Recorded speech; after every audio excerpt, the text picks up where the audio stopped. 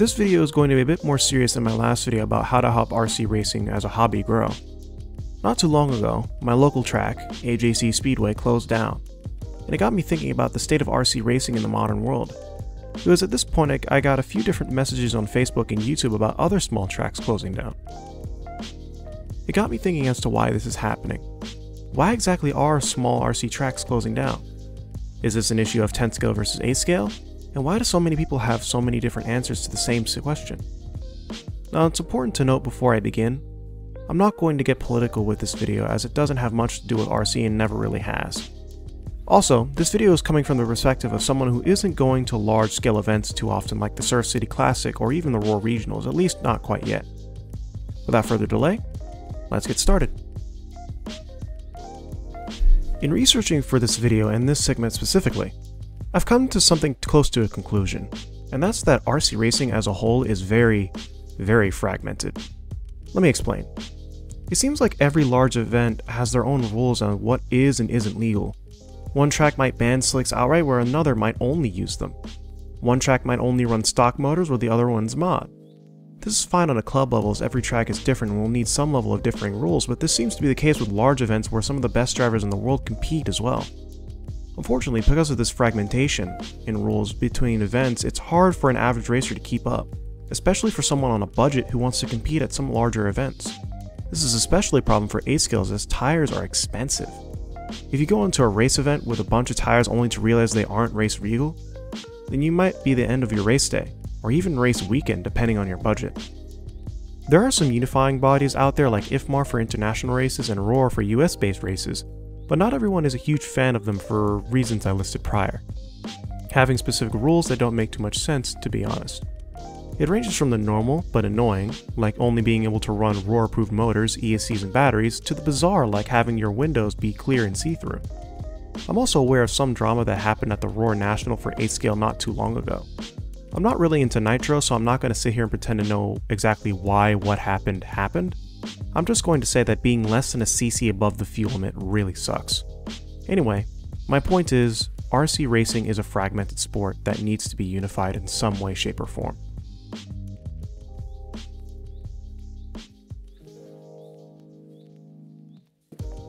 This is something I mentioned in my previous video about how to help the hobby grow, but it really needs to be said again. With the exception of Traxxas maybe, RC companies really don't know how to market in the modern world. To those of you who recently got into RC racing, when was the last time you heard of Sworkz, Serpent, or even Hot Bodies if you're only into 10 scale? For some of you, this is the first time you've heard these names or even seen these logos. This is because these companies and RC as a whole simply don't do a good job of advertising their brands to the general public the same way they did back in the 70s, 80s, and 90s. Think about it. When was the last time you saw a video ad from literally any RC racing company? When was the last time you saw an online ad from a racing brand when you weren't already on an RC site? Even when a new RC racing rig comes out, there isn't much of a fuss when it does come out outside of the race community, and a lot of times, I don't even know when it's going to come out until it's listed on AMain for pre-order. Keep in mind, I'm not exactly inactive online. The only company that I know of that posts things about when their cars are coming out is X-Ray, and they usually do it yearly.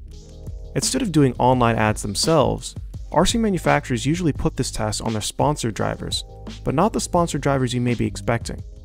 Again, this is something I talked about in my last video about how to help the hobby grow, and that's that RC companies want their factory drivers to be employees, competitive drivers, social media personalities, and customer service all at the same time.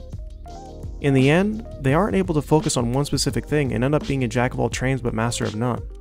That is, if they actually stuck to that.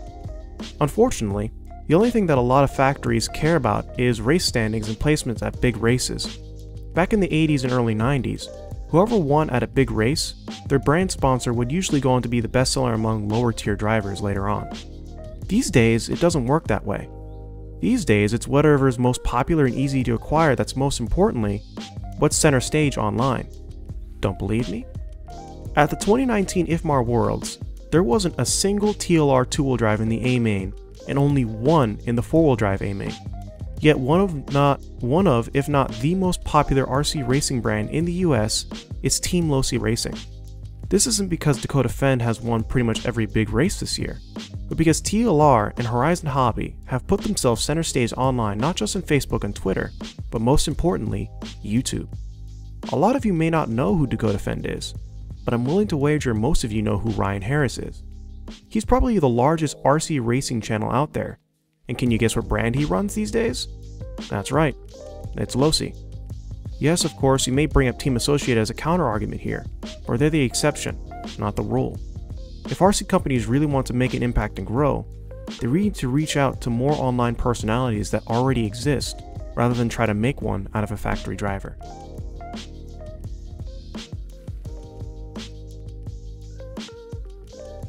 One thing I wanted to mention was the difference between indoor tracks and outdoor tracks, and why one is more popular than the other these days, at least in the South, and the other seems to be on the downturn.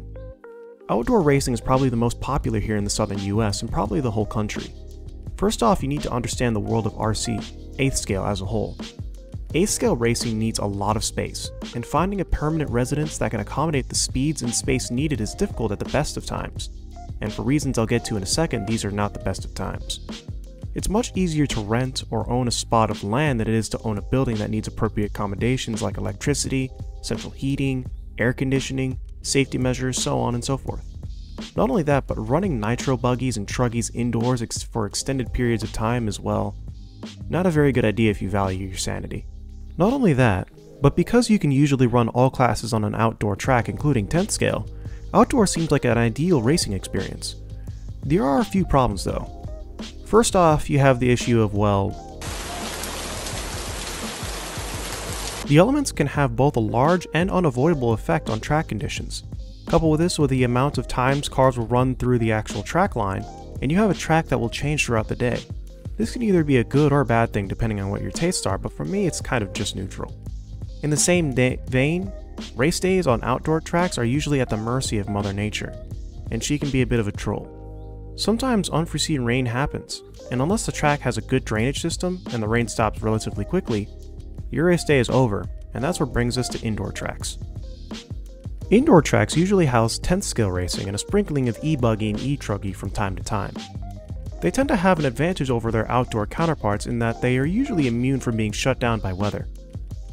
Unless there is a huge tornado, hurricane, or earthquake, there probably will be a race that day. Not only that, but the track conditions can be kept under a very controlled environment. It can be as grippy or as loose as you want it to be, and in the case of Carpenter Astro, cleanup on the cars is almost non-existent. This doesn't mean there aren't drawbacks, chief among them being tire prep. Holy crap, the tire prep. If you watched Ryan Harris's video on Masters of Dirt during his interview section outside, all you'll hear as the background is a constant whining of electric drills in the background. Multiply that by hundreds of drivers all doing the same thing to get more grip out of the car, and you have a recipe for a splitting migraine. However, this is the least of indoor track owners' problems these days. Let me explain. After 2020, and a little thing I will now refer to as the bricks for fear of YouTube taking this video down, lots of things changed. Now you might be expecting me to talk about the initial lockdown due to the bricks, but that's only the short-term effects. The long-term effects are far more destructive in my opinion. Before we get to that, however, we need to understand why RC tracks, specifically indoor ones, are in the locations they are. I've gotten a few different people asking me how there aren't more RC tracks in highly populated areas like New York City or Long Island, but they seem to be everywhere in the outskirts of cities and in the country. Well, it's less a question of population and more a question of costs, specifically real estate costs. Property values in these highly populated areas is very high, and because running an RC track isn't the most lucrative business, and with the amount of space you need even for a small track like the late AJC Speedway, you have a recipe for a lack of tracks. It's why indoor tracks are usually out in the country or more importantly in industrial parks where rent is a lot cheaper, but these days, even these areas aren't safe. Thanks to the bricks. For a while, a lot of people had to stay home for a long period of time. Because of this, people simply didn't go out to buy stuff as much as they did. Instead, they simply ordered stuff online. And because people were now buying stuff online, the demand for warehouses that could hold inventory, you know, the same places that indoor tracks tend to inhabit, rent for these places started to soar as the demand increased. Couple this with the fact that once again, RC is not really a lucrative business for track owners, They simply can't keep up with these increases in rent if they don't already have own the building they run, which in the case of AJC, they didn't. Even after the bricks have subsided, the use of online stores and the demand for warehouses to hold inventory is still there, and we as racers unfortunately have to suffer. With all of these being said, you may think RC is on its last leg, but that isn't really the truth. If you pick apart any hobby or sport, you can find things to improve, and that's what I did. In truth, RC racing has never been more popular. Thanks to the bricks, more and more people are looking to get into new hobbies, and RC has been a popular choice. Large race events like Psycho Nitro Blast and Masters of Dirt have had the most amount of entries they've ever had, and even small club races have had large success as of recently as the bricks have started to die down. RC is far from dead, and I don't even think it's dying. It will bounce back, just like it always has. That's all for now. If you liked this video, feel free to hit that like button and subscribe if you haven't already. Also, if you want to add your voice to discuss discussion, feel free to comment down below as this is meant to be a discussion. Also, if you want to support me further and want to have updates on what my next videos are going to be, be sure to check out my Patreon. Speaking of which, I'd like to thank my patrons Michael Williams, Lucas Tarka, RC World Discord server, Casey Nix, and Ben Reeves. Thanks for watching, and I'll see you later.